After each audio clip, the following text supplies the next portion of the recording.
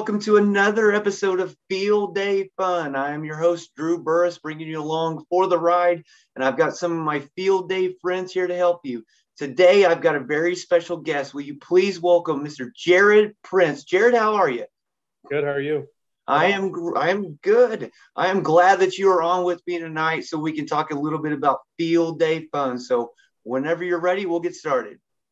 Yeah, I. My name's Jaryd Prince. Like you said, I am from Clinton, Iowa.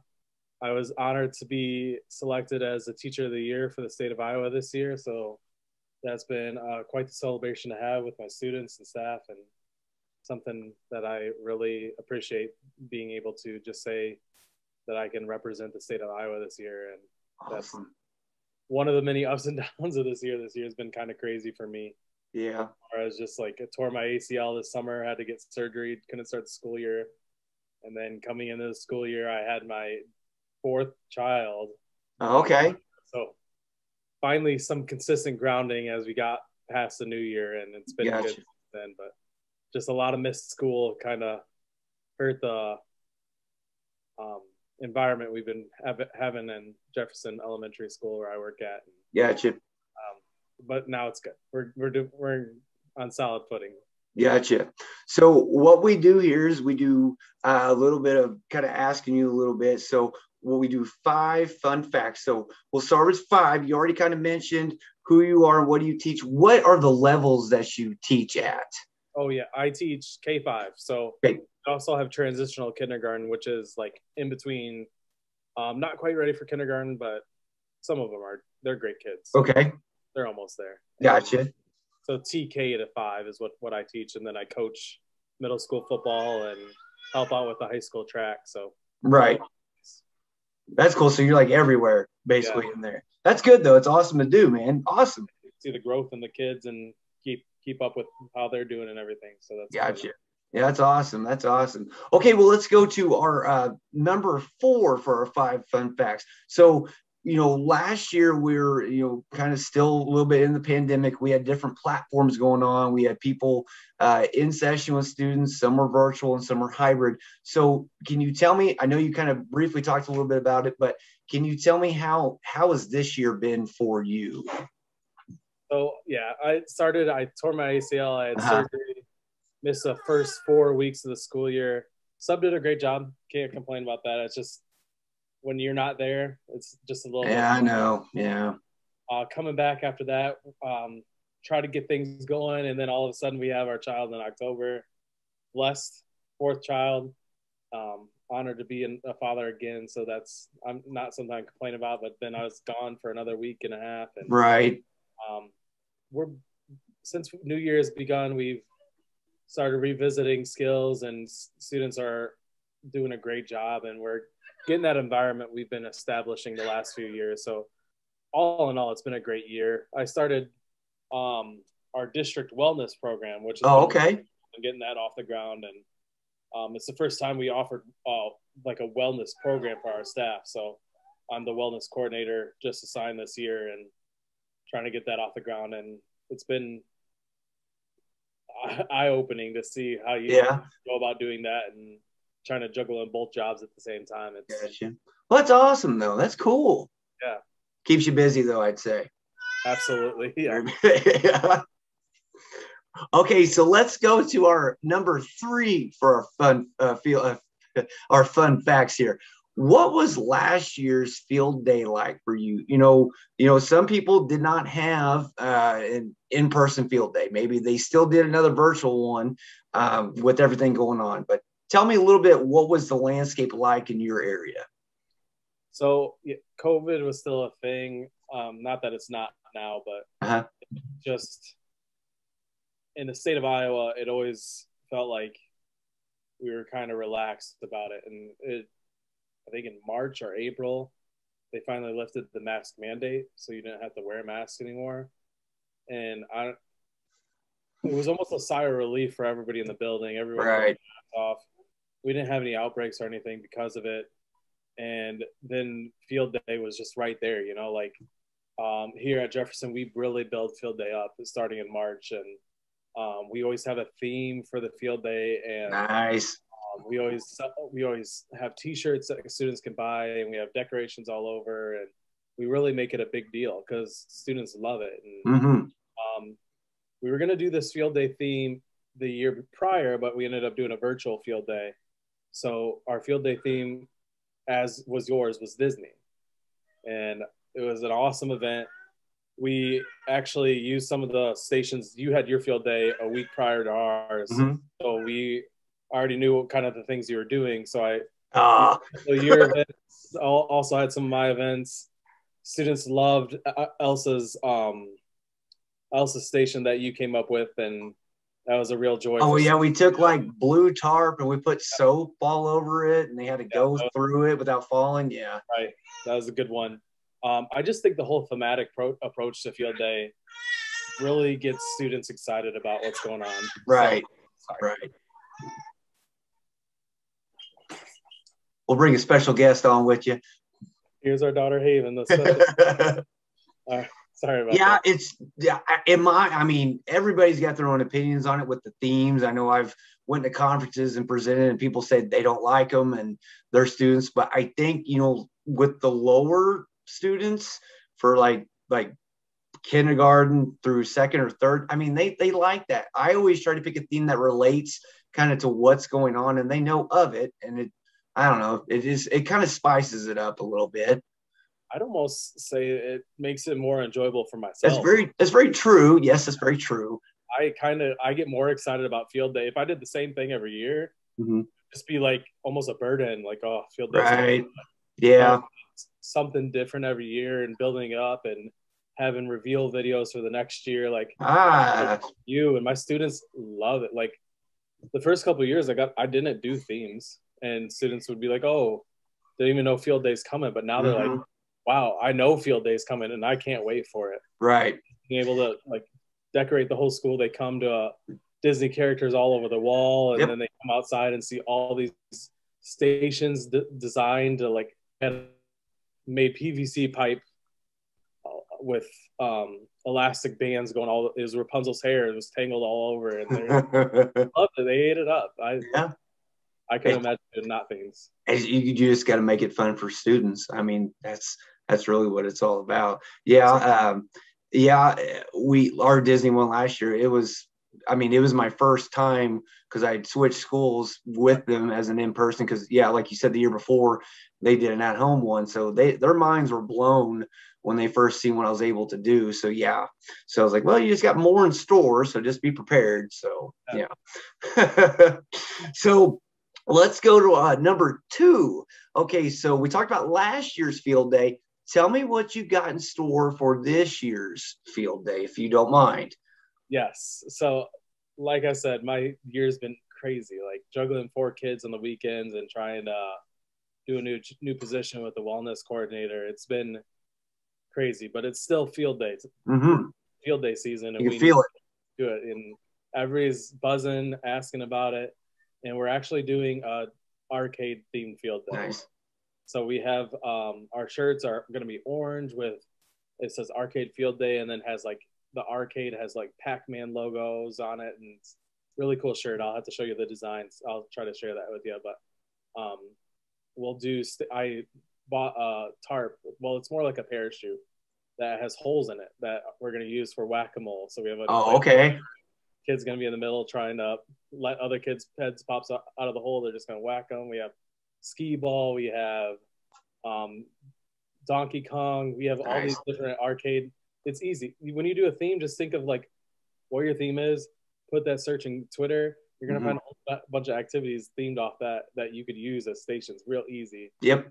and the students are loving it. They they they're they some of them never even heard of an arcade, so I'd explain Yep. little quarter machines that you go to Happy Joe's and put your quarter in. You get to play the game for a little. That's kind of what it's going to be like. Yeah. So, Oh, that sounds like an awesome. T- yeah, I, they'll have a blast doing that one, man. Yeah, there's so many, so many different ways you can think of how to make that. Right, My yeah. goodness. Oh yeah. Okay, so let's get to our last one that we've got here. So tell me, um, what was your favorite field day activity? This could be something you made or something that you participated in uh, while growing up. So field day for me growing up I actually teach at the stu- school I went to, which is awesome. Okay. Um, and when I started, the teacher that was there before me was my my PE teacher growing up. So he left literally everything behind. hmm And I found just the packets he had of the old field day and what it was. And um, I honestly don't have great memories of field day. Right. I, That's about like me, man. wasn't something that I remember growing up. Yeah. And, um, looking at the plans, like it was a lot of standing around, Right. a lot of running, and a lot of more like uh what do you think when you think field day? Like handoffs and um, Tug of war. tug of war stuff. Yeah, stuff Yeah. like that. You would think, and I used that the first year. I kind of used a lot of that what he did, and um, what I realized is that's not the way I want to go about doing it. So I started making my own and Mhm. coming up with themes with the help of Yeah. others that have done it. And um, what ended up happening is we had some awesome field days. And one of my favorite ones is like when they had to do the plunger relay, where they had to put take a cup of water, pour it in the plunger Yep. around a cone, and come back, or even like um, also the doing Disney theme where they had to run through Elsa's ice and try not to trip over Right. the icicles, and they love they love it. Like It's the the littlest things that you can make just from a station with I you know I agree with you with, with the theme you can take certain concepts from that theme and put it into a station it's the easiest thing uh, you know simple station of putting the parachute over some cones and having some socks underneath, and they calling it Monsters Inc. That you have to Yeah. Oh yeah that's what yeah the, the contamination underneath it yeah oh yeah yeah they love that they love going in the dark and not hitting socks Mhm. I was like oh this turned out bigger than I thought it was going to be oh yeah just the themes that allows you to be as creative as you want. It doesn't Yeah. have to be huge. It doesn't have to be small. It can be whatever you want it to be. Right. it's a Theme. It, you can come up with a bunch of th- stations, think if they have anything that's similar, and that's your theme. It's okay. Oh yeah yeah Just ki- kids love it. I honestly, Oh, yeah. they haven't been enjoyed field day at this school for a long time until we started doing themes. That's good. That that's really good to hear, man. That's awesome. So with our previous guests, I usually like to dig something out of the archives. So what I pulled out from you is basically uh, you kind of do the similar thing that I do is you create a trailer. So what I do every year is I I already have the next year's already planned. So, you know, instead of students asking me over and over what's going to happen when, you know, September comes or, or like, you know, September throughout the whole year, I usually kind of give them a tease. So I'm going to show you this and you let me know if you are able to uh, see this and if you can hear it okay.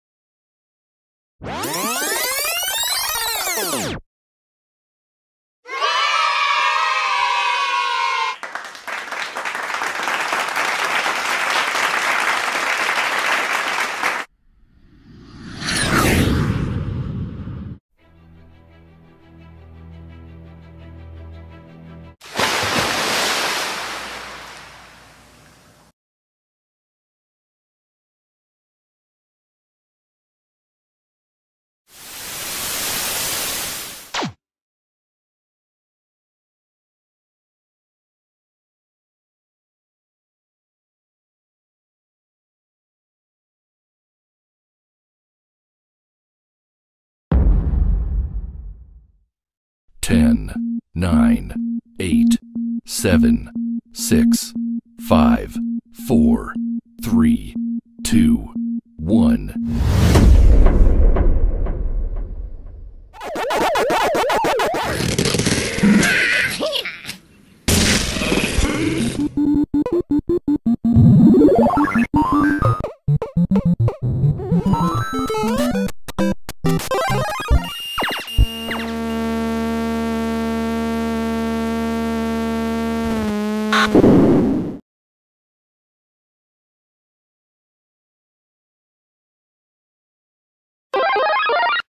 Remember doing that, and You remember doing that? was, I'm gonna say I'm not very good with video editing. Um, still something I'm trying to practice and get better at, but I've seen your incredible trailers, and you do a great job. I usually I get my family to help me do it. They volunteer. So, well, I say volunteer, but I make them do it. So yeah, but but yeah, the trailer thing. I it, it I think I thought of that. Oh, it was a couple years back, and it was it was with our Lego theme, and I had a video of like it was like a comet flying outer space for two minutes, and then at the very end, it like hit the ground, and then I cut a part of the Lego movie where it showed Emmett going down. So where am I? And I mean, that was just a buzz. I mean, they they they even though that was probably the most boring two minutes of watching that happen, but it, it gave them an idea of what was to come for yeah. the next year. But yes, the trailer thing, I know me and you are kind of on the same page with, and it, it does wonders. So yeah. yeah. So like you said, it they are after the field days, no matter how fun it was, they're looking forward to what's next. Oh, yeah, they, yeah, yeah, yeah. If you if you set that mark, oh yeah, yeah, oh yeah. Well, Jaryd, man, I really appreciate you coming on tonight and doing this. Um, can you leave maybe some contact info for our viewers if they want to get a hold of you about some things? Yeah, I will. I will do that. Um, you can follow me at Twitter uh, at Jefferson Fazed. Um, it's a very new Twitter account. Mine got hacked, unfortunately. So um, that's where you can reach me at Twitter. Um, my email is jaryd, J A R Y D dot prince at csdkq.org. Those are the two best ways to reach me if you have any questions or um, are even tempted to do a theme and aren't quite sure. Um, I'm always willing to help in whatever way I can. And I have plenty of themes that I can show you examples.